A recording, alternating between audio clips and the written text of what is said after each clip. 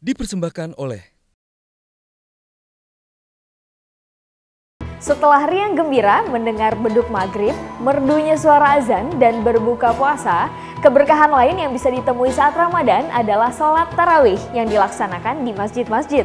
Tarawih adalah sholat sunnah khusus bulan Ramadan yang dilakukan setelah Isya. Selain sebagai ibadah, tarawih juga hadir dengan tradisi yang berbeda-beda tergantung tempat pelaksanaannya. Di Masjid Kauman, daerah istimewa Yogyakarta, sholat tarawih dilaksanakan jelang sahur atau sekitar pukul 2 dini hari. Wah, pagi sekali ya. Alasannya agar masyarakat bisa melaksanakan sholat tarawih di sepertiga malam alias menjadi lebih khusyuk. Pelaksanaan tarawih di Masjid Pondok Pesantren Al-Fatah, Desa Temborok, Kabupaten Magetan, Sholat tarawih di sana bisa sampai 8 jam karena ayat yang dibaca sebanyak 30 juz. Wah, kalian kuat nggak kira-kira? Dipersembahkan oleh Medcom.id, a part of Media Group Network.